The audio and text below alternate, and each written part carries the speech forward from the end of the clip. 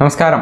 Raf talks ഫുട്ബോളിലേക്ക് ഏവർക്കും സ്വാഗതം. ഇത്തവണത്തെ യുവേഫ ചാമ്പ്യൻസ് ലീഗിന്റെ പ്രീ ക്വാർട്ടറിൽ തന്നെ പുറത്താവാനായിരുന്നു വമ്പന്മാരായ മാഞ്ചസ്റ്റർ യുണൈറ്റഡിന്റെയും പി എസ് ടിയുടെയും അതുപോലെ തന്നെ യുവൻഡസിന്റെയും ഒക്കെ വിധി. നമുക്കറിയാം മറ്റു ജർമ്മൻ വമ്പന്മാരായ ബൊറൂസിയ ഡോഡ്മുണ്ട് ഗ്രൂപ്പ് ഘട്ടത്തിൽ തന്നെ പുറത്തായിരുന്നു. അതായത് ഇത്രയും നേരത്തെ ഈ ടീമുകളൊക്കെ തന്നെ പുറത്താവുമെന്ന് പലരും ധരിച്ചിരുന്നില്ല എന്നുള്ളതാണ്. ഏതായാലും ഇതുമായി ബന്ധപ്പെട്ടുകൊണ്ട് പ്രമുഖ സ്പാനിഷ് മാധ്യമമായ മാർക്ക ഒരു വിശകലനം നടത്തിയിട്ടുണ്ട്. അതായത് ഒരു വലിയ സൂപ്പർ താരം ഉണ്ടെന്ന് കരുതി നിങ്ങൾക്ക് യുവേഫ ചാമ്പ്യൻസ് ലീഗിൽ മുന്നേറാൻ കഴിയില്ല എന്നാണ് ഇവർ വിലയിരുത്തിയിരിക്കുന്നത്. അതായത് സൂപ്പർ താരങ്ങളായ ക്രിസ്ത്യാനോ റൊണാൾഡോയും ലാണൽ മെസ്സിയും ഡുസാൻ വ്ലഹോവിച്ചും ഏളിംഗ് ഹാലണ്ടും ഒന്നും ഇന്ന് യുവേഫ ചാമ്പ്യൻസ് ലീഗിൽ ഇപ്പോൾ നിലവിലില്ല എന്നുള്ളതാണ്. മെസ്സിയും ക്രിസ്ത്യാനോയും നേരത്തെ തന്നെ നിരവധി തവണ യുവേഫ ചാമ്പ്യൻസ് ലീഗ് കിരീടങ്ങൾ നേടിയ താരങ്ങളാണ്. പക്ഷേ ക്രിസ്ത്യാനോ വന്നതോടുകൂടി മാഞ്ചസ്റ്റർ യുണൈറ്റഡിന് ഇത്തവണ യുവേഫ ചാമ്പ്യൻസ് ലീഗിൽ വലിയ പ്രതീക്ഷകൾ ഉണ്ടായിരുന്നു. എന്നാൽ നിരവധി തവണ ക്രിസ്ത്യാനോ റൊണാൾഡോ തന്നെ മറികടന്ന അത്ലറ്റിക്കോ മാഡ്രിഡ് ഇത്തവണ താരത്തിന് മുന്നിൽ വിലങ്ങ് തടിയാവുകയായിരുന്നു. അതായത്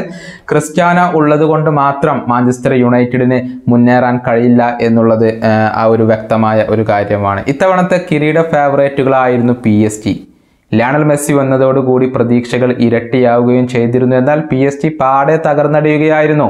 ലയണൽ മെസ്സിക്കൊപ്പം മറ്റു സൂപ്പർ താരങ്ങൾ ഉണ്ടായിട്ട് പോലും പി എസ് ടിക്ക് യു എഫ് ചാമ്പ്യൻസ് ലീഗിൽ ഒന്നും തന്നെ ചെയ്യാൻ കഴിയാത്തതാണ് നമുക്ക് കാണാൻ സാധിച്ചിട്ടുള്ളത്. ഇനിയുള്ള രണ്ട് താരങ്ങൾ ഭാവി വാഗ്ദാനങ്ങളാണ്. നമുക്കറിയാം വ്ളഹോവിച്ച് വന്നതോടുകൂടി യുവൻഡസിന് വലിയ പ്രതീക്ഷകൾ ഉണ്ടായിരുന്നു. എന്നാൽ ആ പ്രതീക്ഷകളൊക്കെ തകിടം മറിയുകയായിരുന്നു. യൂറോപ്യൻ ടൂർണമെന്റുകളിൽ മുന്നേറണമെങ്കിൽ വ്ളഹോവിച്ച് ഇനിയും കൂടുതൽ നിലവാരം പുലർത്തേണ്ടതുണ്ട് എന്നുള്ളത് ഇതിൽ നിന്നും വ്യക്തമായ ഒരു കാര്യമാണ്. ഹാലൻഡിന്റെ കാര്യത്തിലും അങ്ങനെ തന്നെയാണ്. ഗ്രൂപ്പ് ഘട്ടത്തിലാണ് ബൊറൂസിയ പുറത്തായത്. അതായത് ഹാലൻഡ് മാത്രം ഉണ്ടായതുകൊണ്ട് ഒന്നും ചെയ്യാൻ സാധിക്കില്ല എന്നുള്ളത് വളരെ വ്യക്തമാണ്. ഏതായാലും ചുരുക്കത്തിൽ യുഎഫ ചാമ്പ്യൻസ് ലീഗിൽ നേട്ടം ഉണ്ടാക്കണമെങ്കിൽ അവിടെ വലിയ സൂപ്പർ താരങ്ങളെയല്ല ആവശ്യം. മറിച്ച് നല്ല ഒരു ടീമിനെയാണ് കൂടെ മികച്ച ഒരു ആറ്റിറ്റ്യൂഡും വേണം. അല്ലാത്ത പക്ഷം ഈ ഒരു ടീമുകളെ പോലെ തല താഴ്ത്തി മടങ്ങേണ്ടി വരുമെന്നാണ് ഇപ്പോൾ മാർക്ക വിലയിരുത്തുന്നത്. ഈ വീഡിയോ അവസാനിപ്പിക്കുന്നു. മറ്റൊരു വീണ്ടും കാണാം.